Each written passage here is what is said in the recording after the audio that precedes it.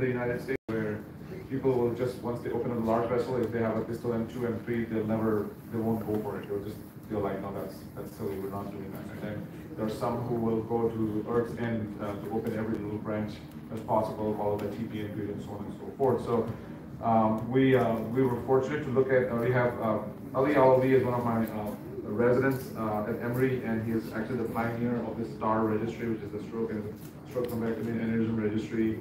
Um, it's spearheaded by him and uh, uh, Alex Spiotta from the University of South Carolina. Um, uh, and has like a, a massive amount of uh, data in there because you know this is this era of, uh, of, of data. So um, we have been crunching a lot of numbers from this data set to answer a lot of these questions that are essentially unanswered. Uh, no disclosures. Um, so as we said, mechanical thrombectomy is a, is a standard right now for acute ischemic strokes, and there are uh, multiple landmark randomized control trials with uh, uh, that, that essentially prove the benefit of, uh, of thrombectomy essentially, but uh, that essentially includes ICA and, uh, and M1 occlusions.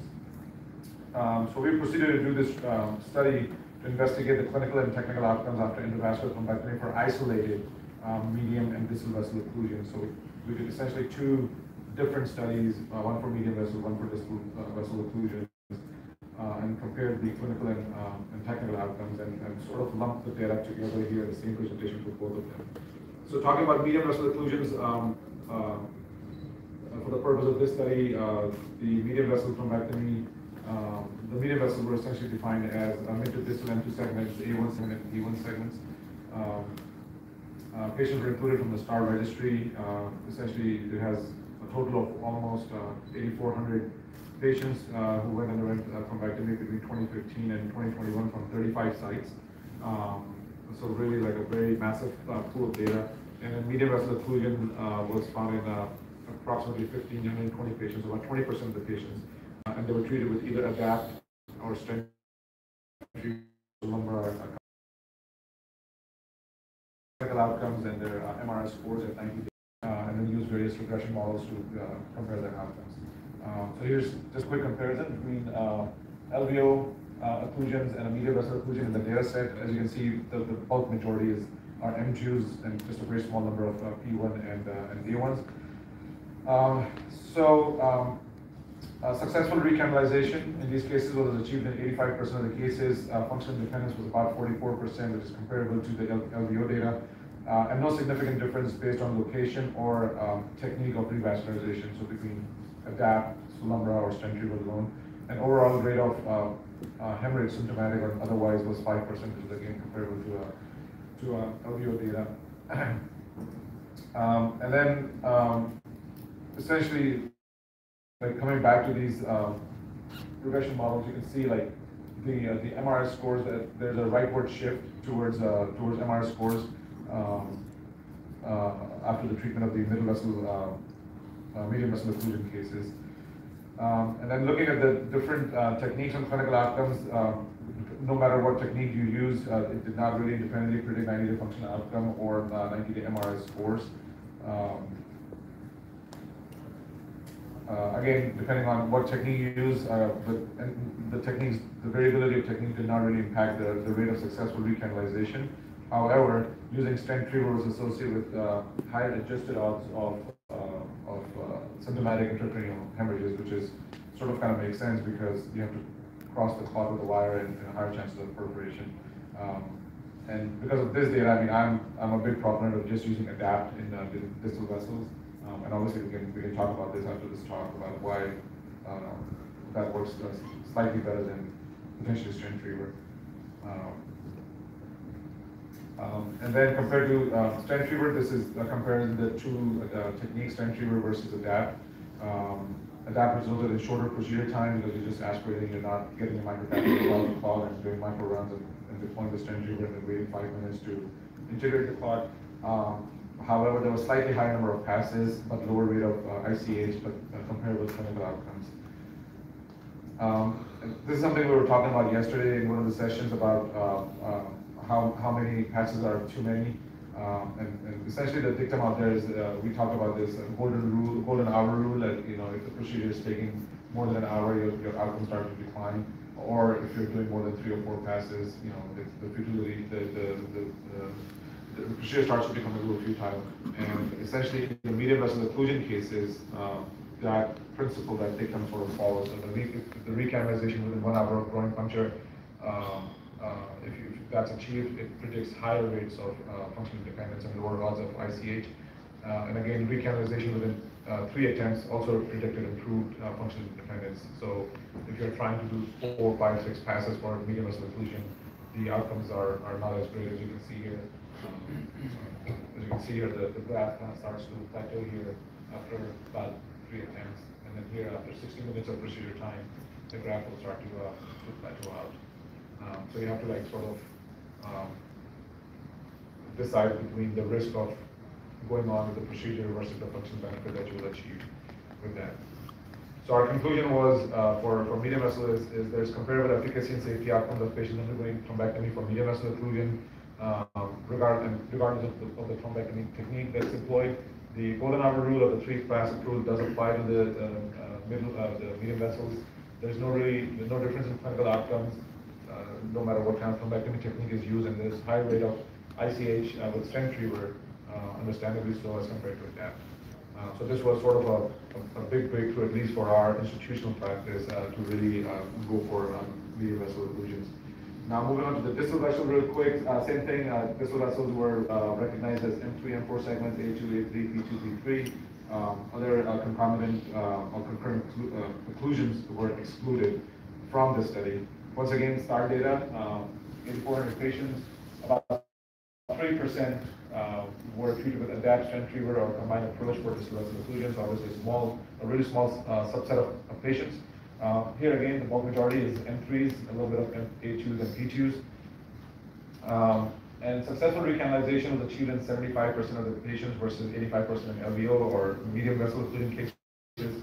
Uh, rate of functional dependence at 90 days was uh, was 44% um, which kind of makes sense versus 37% LVO because it's, you know, there are more, much more distal vessels, the morbidity is um, probably less, uh, unless it's in a, in a, really eloquent territory. Uh, however, um, uh, when we compared stent retriever to ADAPT, there was worse 90-day MRS scores in stent retriever versus uh, ADAPT, and that has uh, really have to do with uh, with hemorrhage rates. Um, so in the, in, the, distal vessel occlusion data set, uh, critical functional dependence was uh, absence of diabetes, lower NIH stroke scale, IVTPA use, and successful recanalization. Obviously, IV TPA uses because TPA works really well for these distal occlusions. Uh, um, however, uh, frontline technique did not influence clinical outcomes when confounders were adjusted for. So it really depends on how you look at the data. Um, stent retriever versus just adapt is, uh, is more or less equivocal. Um, in terms of recanalization, there's no difference in techniques in rate of successful recanalization. And if you do multivariate an, an analysis, there's no difference in uh, ICH by, by technique, but if you just look at isolated uh, data set, then Century was slightly higher than, than Um, once again, compared to SRT, as we saw for medium vessel, for, for ADAPT, you just need a slightly higher number of passes, and it's not a, a huge number, um, and there is no difference in prevailing clinical or technical outcomes. So essentially, um, um, oh yeah, and one last thing, the, the golden hour rule, again, if, if you can recanalize within one hour, it does predict higher odds of function independence, and then if you can recanalize within two attempts, uh, uh, it predicts uh, improved uh, chances of uh, functional uh, recovery or functional independence by 90 days. Um, and this graph basically predicts the same thing. So in conclusion, again, comparable efficacy and safety for patients undergoing thrombectomy for, dis for distal vessels. the distal vessel occlusion still follows the golden hour and, and the two-pass rule no, no difference in clinical outcomes across uh, what, uh, what technique is used. Um, and the uh, retriever thrombectomy was more influenced by chance, whereas aspiration outcomes were more dependent on the procedure time. Um, this is our team from Emory and uh, from University of South Carolina. Um, and uh, yeah, I'll, and with that, I'm taking questions. Uh, Dr. Pabaney, I have uh, a question to ask. It's like uh, whenever you are going for more distal occlusions, I mean, there is a problem with the support support as well. So usually the stent retrieval technique gets better, but your data suggests that uh, the results were either equivocal or the adapt technique was more preferred over better outcomes as compared to the retrieval. That is one question. And the second question is that in your studies, you've also mentioned that there were greater number of passes associated with the DAP technique as well. So that was the case, that if there are more passes with the DAP, then why DAP had a better outcomes, even with more passes? Thank So you. the outcomes are actually same for retriever and adapt, only the ICH rate, which is higher with stent retriever, um, uh, rather than adapt. Um, with adapt, I think, obviously, if you're taking a catheters to distal, uh, we're fortunate in the US that we have, um, several lines of these aspiration catheters that go from 035 all the way up to 088. Uh, so you can really push your, push your envelope and, and take those catheters really distally. Um, I think, uh, as far as outcomes are concerned, our data suggests that outcomes are essentially the same, as well as the functional is the same between stent retriever and the adapt group. Uh, in terms of passes, obviously, it, it all really depends on if you are able to do contact aspiration um, uh, with your distal catheters, right? So you, for, for stent retriever, um, if your stent, stent retriever is, is distal to the clot, that's all you need sometimes, if, even if you don't get your aspiration catheter up close, you can probably drag your clot up to this, up to your uh, suction catheter. But for, just for that, you really need to be engaged and to be able to, to do that.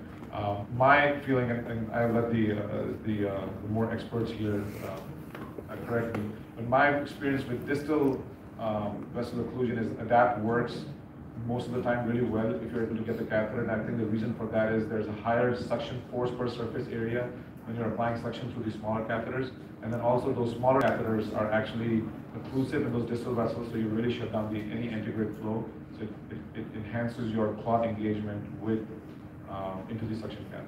You know, the Uh, problem that we are facing uh, at our center is that whenever we are trying to, you know, push the system more distally, what is happening that is leading to vessel dissection, and in fact, the system get pulled out as well. Right. Many a times, especially once you go to the cavernous part and all that. Right. So that's why, you know, for more distal lesions, we are more, uh, we are preferring the stent retrieval technique Sure. over the adapt. Right. But you are telling uh, a different story. So Yes, you tell us what would be the method, because we would also like to go by DAP technique, going for more distal occlusions. Right. But how can we do that? Yeah, so uh, one of the things that I've learned is obviously you have this like the, the tower of power, right? So you need have a very good proximal support. Obviously, if the arch is bad and you have a type three arch and you have, you have struggled in the first place to get up, yeah. you know, in, in the first place, you uh, what I generally do in those cases is I'll, I'll rely on my balloon guide catheter, and the reason is that I can take my balloon guide as high as up to petrous, and when I'm trying to push my catheters very very distal, I'll inflate the balloon and the balloon guide catheter so that sort of anchors my whole system. Uh, and then I'm able to um, then I'm able to push that. And then obviously there's an intermediate. So within the balloon guide, there's usually an intermediate catheter, which will be like a 71 or a 55. Uh, and then within that, that'll be the, a 35 catheter that will go very distally. And then uh, you know uh, we talked about these wires that can uh, that are softer now. Like uh, and then I, I, I, Dr. Umar Tanvi was talking about these um, 035 Colossus wires, which are like thicker wire, which essentially is safer in distal vessels because of its surface area. It, it's, it doesn't act like a spear, so the chances that you will poke something is, is actually um, is actually less. But, uh, but yeah, I mean, as I said, we're, we're blessed to have those um, tools in our, um, in our toolbox that we can use. Um, but yeah, if, if you are if you're short on supplies, then yes, it can be very challenging to, to get your catheters distally. I agree. Thank you so much, excellent talk, uh, appreciate you guys. Next, I think, uh, these new